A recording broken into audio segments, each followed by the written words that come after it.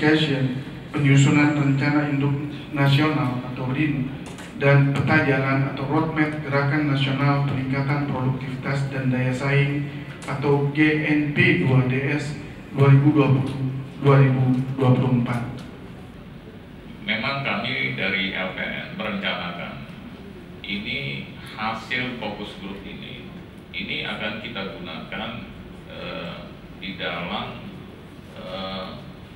pembuatan impres ataupun nanti kepres nanti tergantung badan hukumnya. Mungkin dua poin ya. Satu adalah dari GDP kita. We are kita adalah satu triliun dolar GDP country.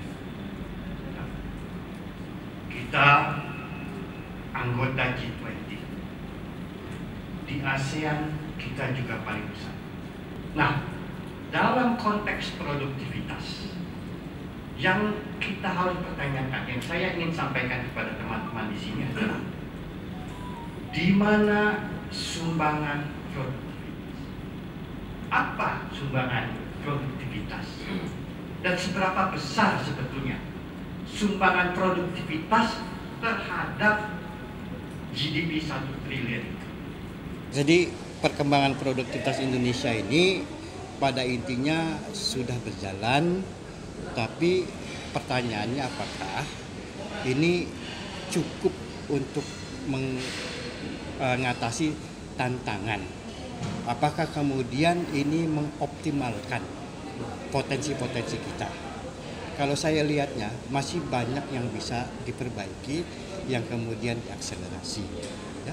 Jadi perjalanan sudah kita sudah take off, tapi kemudian kita juga harus lebih ambisius, kita harus lebih klarifikasi apa peran dan sumbangan produktivitas sehingga kita menjadi jelas sentralitas produktivitas di di dalam rangka uh, memenuhi nawacita dan juga kemudian di dalam SDM unggul Indonesia.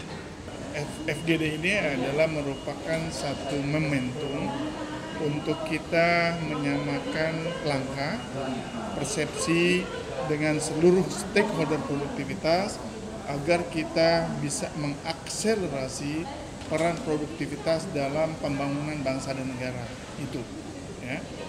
Gerakan nasional produktivitas dan daya saing ini sebetulnya di bawah koordinasi lembaga produktivitas nasional ya di mana lembaga produktivitas nasional ini bentuk melalui keputusan presiden. Ya di mana eh, apa namanya wakil ya ketuanya itu Pak Menteri kita Menaker wakil ketuanya dari Menko ya Menteri Perekonomian. Jadi eh, sebetulnya eh, GNP 2DS ini adalah satu hajatan yang dilakukan oleh lembaga produksi nasional sekarang sementara kita organisasi produktivitas yang ada di kementerian mengawal ya. Bagaimana sebetulnya ide-ide ya terkait dengan strategi roadmap atau pelaksanaan daripada peningkatan produktivitas dan daya saing itu bisa terkawal dengan baik. Step-stepnya jelas ukur-ukurannya juga jelas sehingga target apa namanya yang disetting dengan punya ukuran yang jelas punya langkah yang jelas itu mudah-mudahan kita bisa percepat pencapaiannya. Bahwa target kita itu adalah eh, Indonesia maju pada tahun sekian. Tahun berapa tadi? 2045. Ya, 2045. Kita harus maju. Nah, bagaimana peran produktivitas ini ikut mengawal gitu. Bagaimana peran produktivitas itu ikut mengawal untuk mempercepat, mengakselerasi. Isunya jangan 2045, dengan produktivitas ini bagaimana kita majukan? 2030 nah, bisa nggak kita men-challenge seperti itu? Itu sebetulnya isu-isu yang akan dibahas di dalam FGD ini gitu. Jadi kita tunggu apa yang akan dibicarakan. Mudah-mudahan itu bisa menghasilkan langkah-langkah konkret untuk percepatan pencapaian Indonesia Baju melalui produktivitas.